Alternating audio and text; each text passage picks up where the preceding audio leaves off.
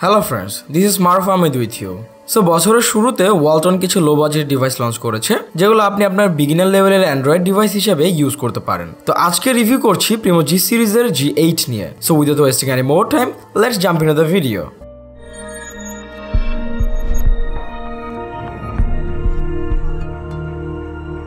low বাজেটের স্মার্টফোনগুলোতে সবাই যে জিনিসটা দেখে, সেটা হচ্ছে ডিজাইন এবং লুক ডিভাইসটি মোটামুটি বেশ বড়। তাই ওয়ান হ্যান্ডেড ইউজ কিছুটা আনইজি লাগবে প্রথম দিকে বাট কিছুদিন ইউজ করার পরে আপনি ইজি ফিল করবেন।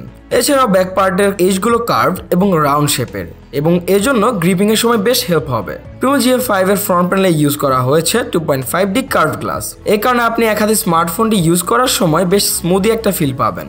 ডিভাইসটি মোটা এবং ভারী হলেও বেশ সলিড ব্যাক পার্টটি ম্যাট ফিনিশ করা এবং ব্রাস্ট ফিনিশ টেক্সচার যুক্ত।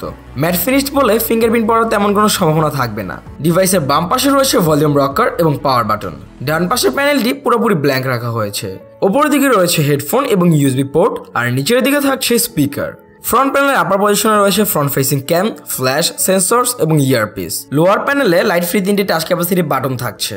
আর এর ব্যাক পার্টে রয়েছে রেয়ার ক্যামেরা ফ্ল্যাশ এবং ফিঙ্গারপ্রিন্ট স্ক্যানার হ্যাঁ ঠিকই বলেছি ফিঙ্গারপ্রিন্ট স্ক্যানার যদিও এই ফিঙ্গারপ্রিন্ট স্ক্যানারটি সুপার ফাস্ট এবং সুপার অ্যাকুরেট ছিল না, তারপরও লো বাজেটের ডিভাইসের মধ্যে আপনি ফিঙ্গারপ্রিন্ট পাচ্ছেন। এবং এই ফিঙ্গারপ্রিন্টটি ভালো ছিল।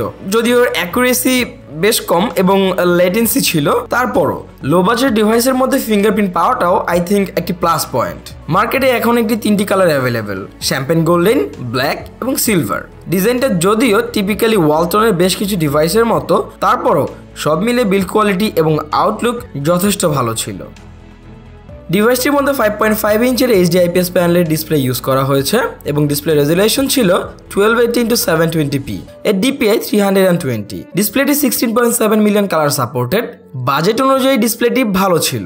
ডিসপ্লে কালার রিপ্রোডাকশন এবং কন্ট্রাস্ট অ্যাভারেজ এটা আরও ইমপ্রুভ করার জন্য থাকছে মিরাভিশন যেখান থেকে আপনি কালার টাইপ নিজের ইচ্ছা মতো সেট করে নিতে পারবেন। ফাইভ পয়েন্ট ফাইভ ইঞ্চের এই এইচডি ডিসপ্লের মধ্যে আপনি খুব ইজিলি ফুল এইচডি ভিডিওগুলো প্লে করতে পারবেন। Video colour reproduction was good viewing angle was also quite perfect display প্রোটেকশনের জন্য আছে স্ক্র্যাচ রেজিস্ট্যান্স গ্লাসের লেয়ার যার জন্য ডিভাইসটি কিছুটা সময় পর্যন্ত দাগ থেকে রক্ষা পাবে। এটি আপনি ten fingers multitouch supported display বড় বলে টাইপিং এর ক্ষেত্রেও হেল্প হবে, যদিও টাচ রেসপন্সটা মোটামুটি ছিল।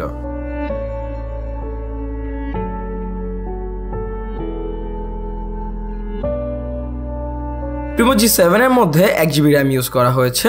এর মধ্যে মোস্ট অফ দ্য টাইম আপনি দুইশো থেকে চারশো মেগাবাইটের মতো র্যাম ফ্রি পাবেন।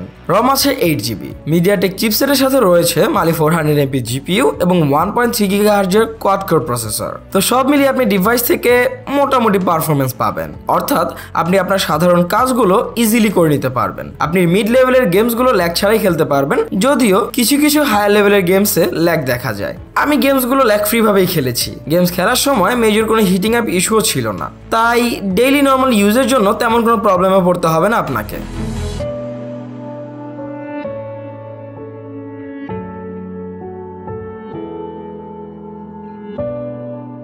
প্রিমো জি সেভেনের ফ্রন্ট এবং ব্যাক দুটোতেই বিএসআই সেন্সরযুক্ত এইট মেগাপিক্সেলের ক্যামেরা ইউজ করা হয়েছে। রেয়ার ক্যামের মধ্যে অটোফোকাস থাকলেও ফ্রন্ট ক্যামে কোনো অটোফোকাস থাকছে না। ডে লাইটে ভালো ছবি তোলা যাবে এই ডিভাইসটি দিয়ে। পিকচারের কালার ঠিক ছিল বাট শার্পনেস এবং ডিটেলস অ্যাভারেজ লো লাইটের ফটোগুলোতে নয়েজ বেশ লক্ষণীয়। ফ্রন্ট ক্যাম দিয়ে যথেষ্ট পরিমাণ লাইটে ভালো সেলফি নেওয়া যাবে।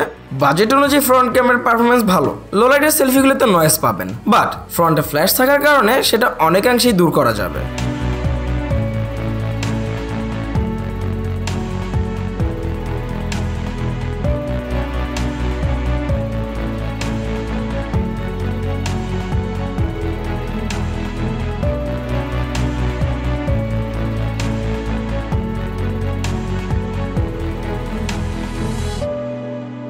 ওয়ালটনের ডিভাইসের মধ্যেও Android seven point O use করা হয়েছে।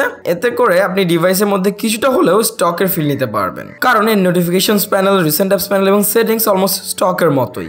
যেহেতু এটি অ্যান্ড্রয়েড সেভেন পয়েন্ট ও তাই আপনি রিসেন্ট অ্যাপস প্যানেল থেকে মাল্টি উইন্ডো ইউজ করতে পারবেন। এর জন্য একই সাথে দুটো অ্যাপস ইউজ করতে পারবেন। ওটি আছে টুকটাক আপডেটের জন্য।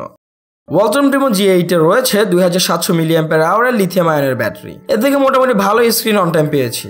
ডেইলি নর্মাল ইউজে ছয় থেকে সাত ঘণ্টা ব্যাকআপ পাওয়া যাবে। আর যদি গেম অথবা হেভি নেট ইউজ করা হয়, তবে সেই ক্ষেত্রে সাড়ে তিন ঘণ্টার উপরে ব্যাকআপ পাওয়া সম্ভব না। তাই আপনি যদি হেভি ইউজার হয়ে থাকেন, তাহলে আপনাকে সাজেস্ট করব একটি পাওয়ার ব্যাংক ইউজ করতে।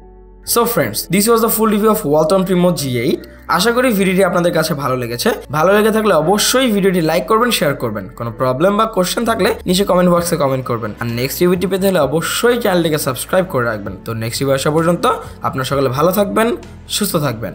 ধন্যবাদ।